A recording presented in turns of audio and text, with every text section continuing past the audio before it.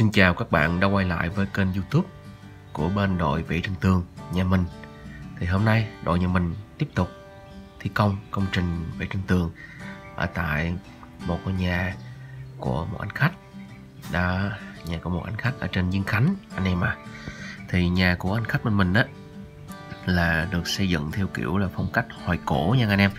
Nhà được đa phần á là được thiết kế theo kiến trúc là gỗ chơi theo phương án là mộc nên cái xu hướng hướng tới tranh của anh khách bên mình đó là muốn hướng tới cái phong cảnh thiên nhiên à, phóng khoáng nhẹ nhàng và đặc biệt á, là có xu hướng muốn hướng tới những cái làng quê mộc mạc trang trí lên trên tường để tạo cảm giác là nó thoáng không gian ra mở rộng không gian ra các bạn ạ à.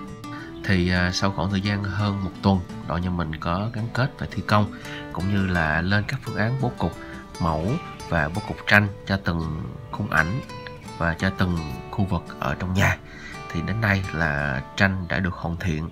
Các bạn à thì mình xin phép được quay lại để mình chia sẻ với các bạn yêu mến nghệ thuật gần xa trên cả nước đã có thể tham khảo qua những cái mẫu tranh mà thuộc phong cách à, thiên nhiên làng quê như thế này để có thêm được những cái ý tưởng và trang trí cho cái khoảng không gian nhà của các bạn thêm phần sinh động và đẹp hơn.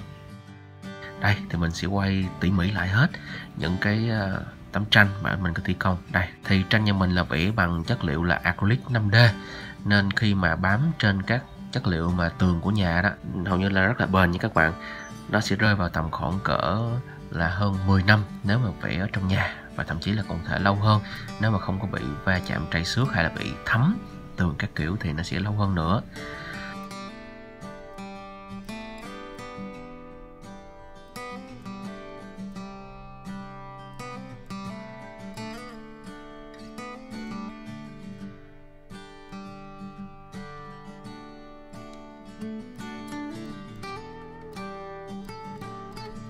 Còn đây là một tác phẩm về đồng lúa. Đây mình quay lại gần đây.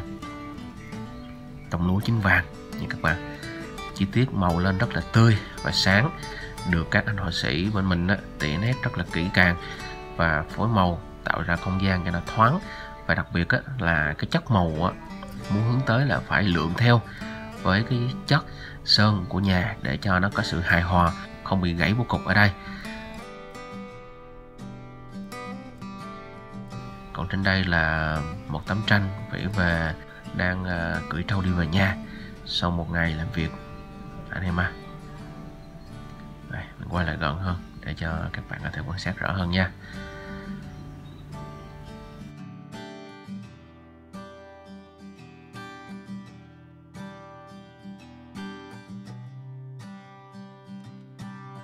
Rồi lên trên đây đây trên khu vực trên lầu này á, thì à, bên mình tiếp tục trang trí ở khu vực đây.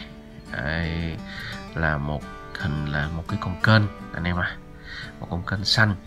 Kèm theo đó là um, cái quan cảnh mở rộng ra nâng không gian bầu trời cao lên để tạo cho cảm giác khu vực chỗ cầu thang nó thoáng hơn và nó xanh hơn nha các bạn. Còn bây giờ thì mình sẽ cút lại những tấm tranh mà bên mình đã thi công để cho các bạn có thể tham khảo qua.